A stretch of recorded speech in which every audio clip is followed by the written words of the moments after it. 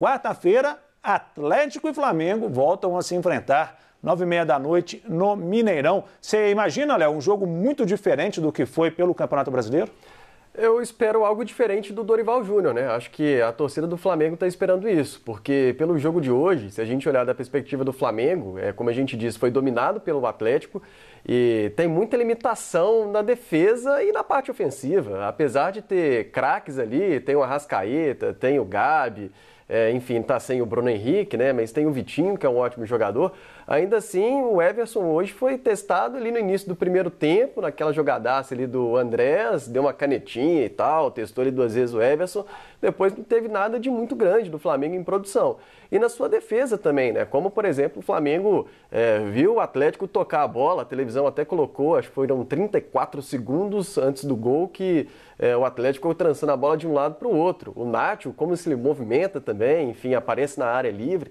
Então, acho que o Flamengo deve propor alguma coisa diferente, pela é, exatamente pressão que também vive. É, então, acredito que pode ser um jogo diferente por isso e por conta de ser 180 minutos, ser uma competição diferente, mata-mata. Talvez a própria proposta do turco pode ser um pouco diferente também.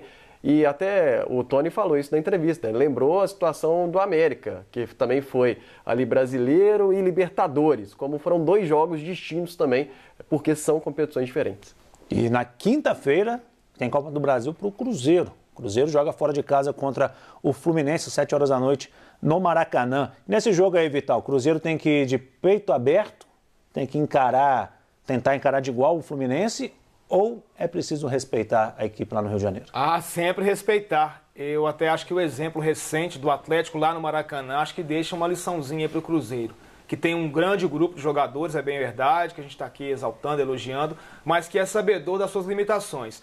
A, a, a, fórmula é diferente, né? Acho que a, a, pegada é outra, são dois jogos, até porque também o seguinte vai ser só no mês que vem, então vai ter um intervalo importante aí. Mas começar bem, arrancar um bom resultado lá, que seja é, um empate com gols, por exemplo, ou uma vitória magra, vai ser muito importante. Agora, peito aberto não, eu acho que o Pesolano sabe disso, o Pesolano ele tem a plena consciência de que vai pegar um clube de Série A, que está no nível diferente do time dele, mas como é mata-mata, né, e a, Copa do Brasil reserva esse tipo de surpresa, a gente pode sim contar com um bom resultado pelo momento do Cruzeiro. Então vai ser duro, mas podemos contar com um bom resultado. Agora, a falta que vai fazer o Neto Moura, na minha opinião, é, é grande. Vai fazer grande diferença a ausência dele que não vai poder jogar porque já disputou a Copa do Brasil.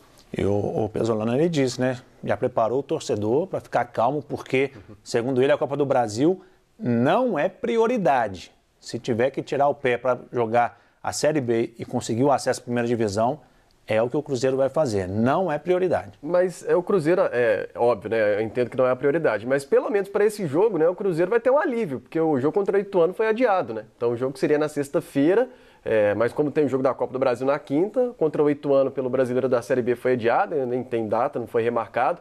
Então o Cruzeiro vai ter uma lacuna entre a Copa do Brasil e o Brasileiro da Série B. Vai voltar a jogar só na terça-feira, joga na quinta e depois na terça-feira, dia 28, contra o Esporte em casa.